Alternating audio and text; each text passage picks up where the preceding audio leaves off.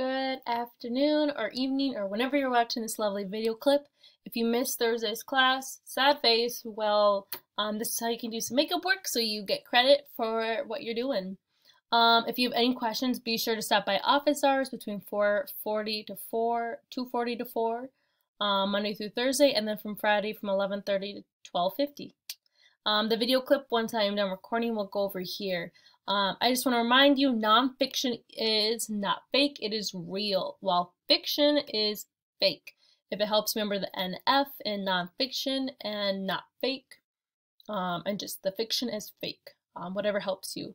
Um, but what I want to remind you, and what we've been talking about so far as we've been going into this nonfiction unit, is we've been talking about how powerful nonfiction readers um, read with flexibility. And one way is that you guys choose to be fascinated in your thinking. You're thinking about things that you're learning, something that seems strange, and you're wondering the whys. You're actively engaged. And it's a choice. It's how you decide to read the text. We can also read intensely while we're also thinking. You're thinking about your notices, what you're learning. You're choosing a just right book, and you're knowing the difference between books that are just right for you and books that are too challenging or maybe not of interest to you. I want you to check back with predictions, just like how we were yesterday. Was I accurate? Is this different? And today, what we're going to talk about is um, notices when there's confusion and how one thing is to reread so that things become more clear.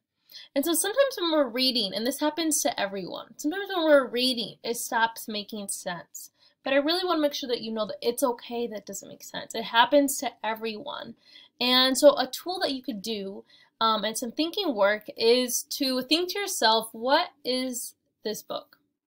What, what is this part? What is this one area? When I'm looking at this book, Mummies, and I'm wondering about the different cultures in this one paragraph, I ask myself, what is it trying to teach me? So one thing I could do is I could stop and study the whole page.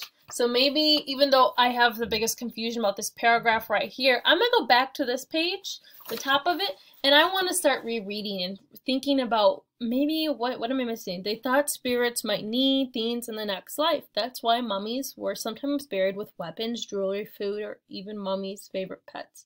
Okay.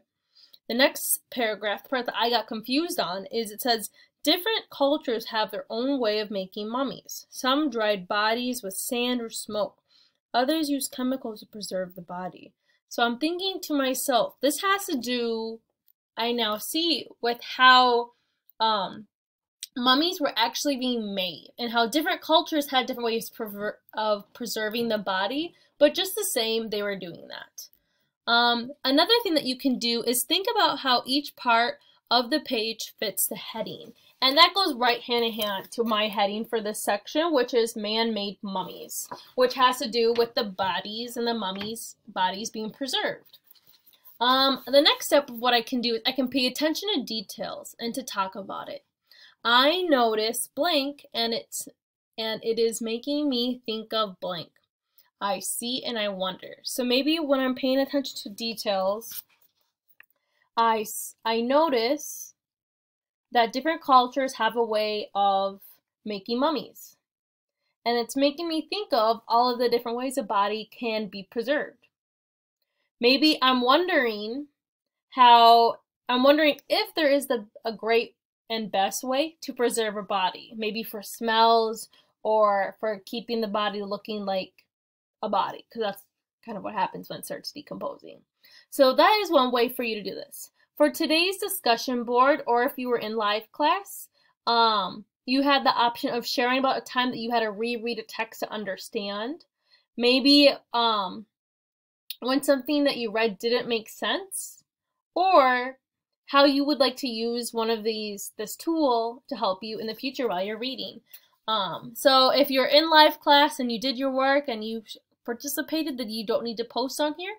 Um, but if you did not, then yeah, go ahead do this. If you have any questions, be sure to come to office hours and I will gladly help you get your questions answered. Hope you have a great day. Bye.